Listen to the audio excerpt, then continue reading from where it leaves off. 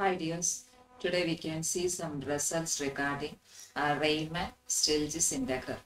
Before that we can see what is Riemann integral. integral.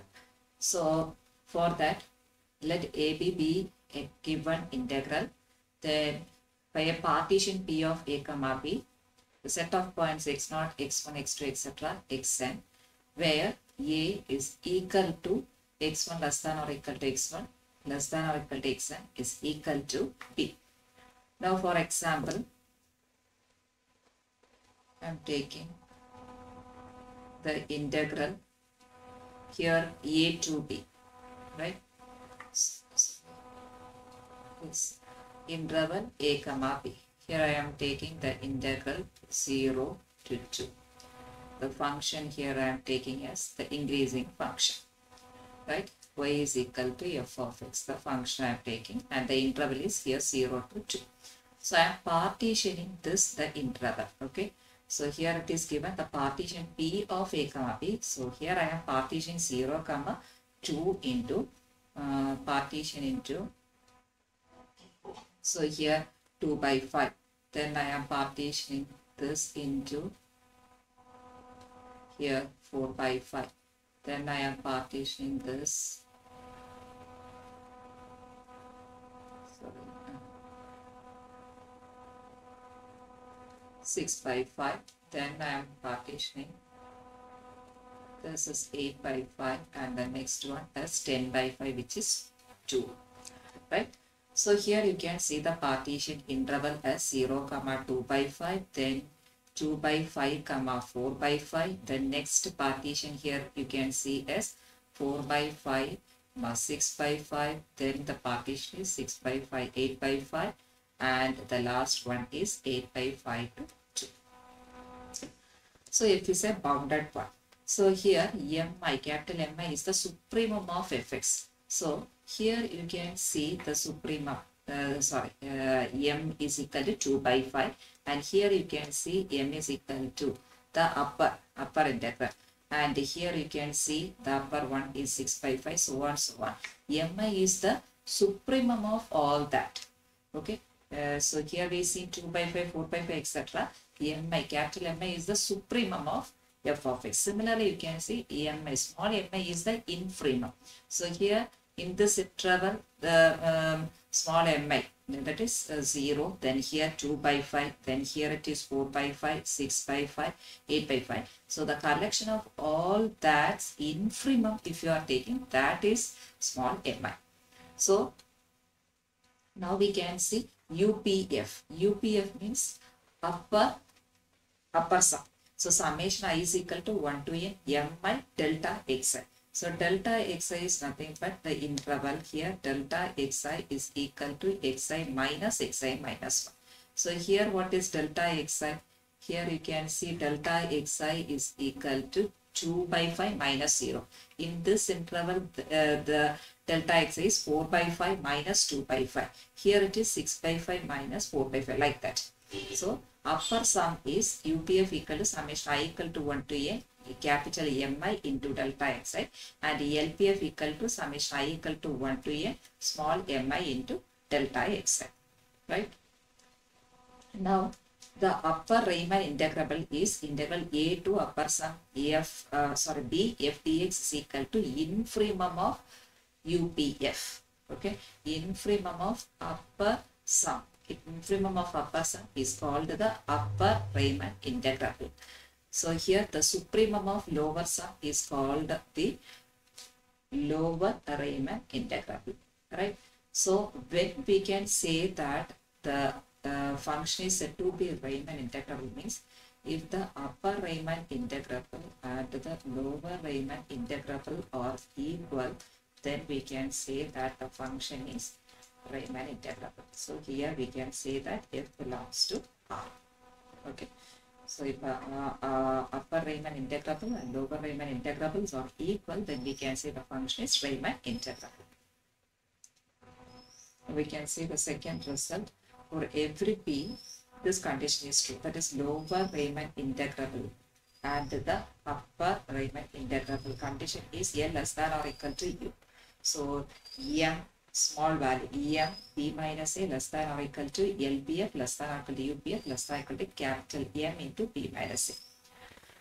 Now the third one we can see the Riemann-Stieltjes integral. The first one is Riemann integral. Uh, this you can see Riemann-Stieltjes. So for that addition condition, alpha be the monotonic increasing function, right?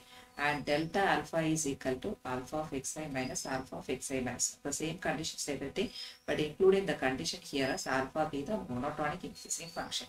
So here the upper Riemann integral is integral a to b bar, uh, not b bar, uh, b sum f d alpha is equal to infimum of uh, upper sum UPF alpha and here uh, uh, lower Riemann integrable integral a to b f d alpha equal to supremum of lower sum L p f alpha. Okay, and when we say that this is Riemann integrable means if the upper Riemann integrable and the lower Riemann integrable are equal, then we can say that it is the function is Riemann integrable that is here belongs to R of alpha. So uh, you can see that if R of x is equal to x then we can say that this become this become a Riemann integral. Riemann-Stieltjes become a Riemann integral. Riemann integral if alpha x is equal to x. Now we can see the fourth one partition yeah, the partition P star is called the refinement of P if P star contains P, right? So when we can say this P star is uh, the refinement of P. So for that you can see an example here. Here I am taken the inter, uh, integral minus 1 comma 4 and P is equal to minus 1 comma 1, 2, 3, 4. So which of the following is the refinement of this P? okay the interval is here is minus 1 comma 4 so i am uh, taking this q3 is the refinement because all this partition value of p is contains in q3 see here minus 1 is there 1 then here we have 2 so 2 in then here we have 3 so that is also be here. Again we have 4 that also be there including some other values. Okay, so here P star contains all the values of P, then we can say that it is a refinement. So here we can say Q3 is the refinement. Okay. Similarly, you can see if two or more partitions is there. So in the first one, we seen the partition like this. So an interval uh, like uh, 0 to 2 is partition into 2 by 5, 4 by 5, like that. If not, you can partition this 0 to 2 into some other way also. That is 0, comma 1, then 1, comma 2. So the first partition is P1, the second partition you get to P2. Again, we can partition into more and more ways. So if two or more partitions there, then the common refinement you can take as P1 union P2 is the common refinement. Now we can see the next one. Next result fifth one if p star is the refinement of p then the condition is lp f alpha less than or equal to lp star f alpha but up star f alpha is less than or equal to up f alpha. So when you are taking the lower uh, uh, sum it will be lp f alpha less than or equal to lp star. But upper you have to take p star less than or equal to up f alpha. Then one more condition here. Uh, always a Riemann, a lower Riemann integrable is less than or equal to upper Riemann integrable. Uh, that is here. Lower Riemann integrable is less than or equal to upper Riemann integrable. So the seventh one, if f belongs to R of alpha, if and only if. Okay. If it is a Riemann integrable, then the condition UPF alpha minus LPF alpha is less than epsilon. The eighth one, if f is a continuous function, then directly you can write that f is Riemann integral. Now the ninth one, if f is a monotonic function, also alpha is continuous. f is a monotonic, either increasing or decreasing function, and alpha is a continuous function, then also we can say that f is Riemann integral. Here the eighth one, f is a continuous one, then it is Riemann. Here f is monotonic and alpha is continuous, then f is Riemann. Now the tenth one, uh, f is a bounded function, then f has finitely many points of discontinuity and alpha is a continuous function at which f is discontinuous. See, f is discontinuous, alpha is continuous. If it's so, you can write that f belongs to R of alpha, that is f is Riemann integral. If alpha and f is discontinuous, then we, uh, we can say f is not Riemann integral. Okay. If both are discontinuous, then it is not Riemann. Any one of it's continuous, then we can say that any one of them is discontinuous, then it is integral. Now the next one, if f belongs to properties, f belongs to R of alpha and modulus f of x less than equal to m, then you can write modulus integral a to b ft alpha less than or equal to m into alpha of b minus alpha of because we have the condition that modulus integral a to b ft alpha is less than or equal to integral a to b modulus f into d alpha. So using that condition, here this is is equal to uh, integral a to b m into d alpha. So d alpha is alpha from the limit b to a so that we will get to this condition. The twelfth one, if f belongs to r of alpha 1 and f belongs to r of alpha 2, then we can write that f belongs to r of alpha 1 plus alpha 2. Also the condition you can see integral a to b f t alpha 1 plus alpha 2 is integral a to b f t alpha 1 plus integral a to b f t alpha 2. Also you can see this integral a to b f t c alpha equal to c integral a to b f t alpha. Together the condition f is Riemann integrable and c is any positive constant. Now you can see the 14th one, the unit step function. So unit step function, the condition is if x less than or equal to 0, x less than or equal to 0, the points everything will be 0. Okay, if I am taking minus 1, minus 2, etc., the function everything will be 0. But if x greater than 0, the function is here 1. Okay, the function everything is 1. If it's so, then we can say that it is a unit step function. You can see here only 1. Here it is 0, this is also unit step function.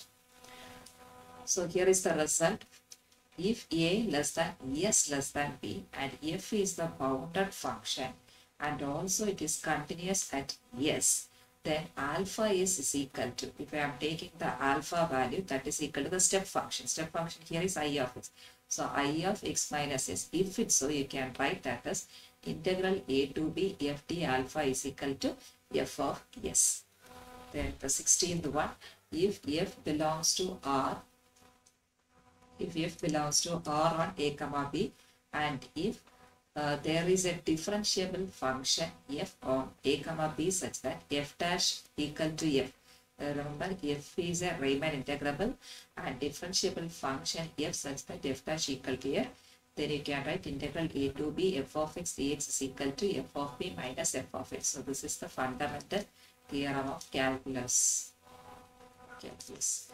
Then the 17th one a continuous mapping gamma of an interval a comma b into rk is called the curve. So curve, the actual definition is continuous mapping of the interval, interval a comma b into rk, okay, into rk, Euclidean space. Then we can say this is said to be the, that mapping is said to be the curve, right? Continuous mapping. If that curve is 1 1 the function is 1 1 then we can say that arc is said to be the curve is said to be arc similarly if that uh, uh, curve that is gamma a equal to gamma b starting and ending with the same then we can say that curve is said to be the closed curve right and then if the curve can be written as gamma x1 that is we seen before partition like this like this we see more partition right so x1, x2, x3, x1 like that. So x2 minus x1, x3 minus x2 like that. So whose sum is equal to gamma of p comma alpha. That is if you take the supremum of gamma p comma alpha is equal to gamma of gamma.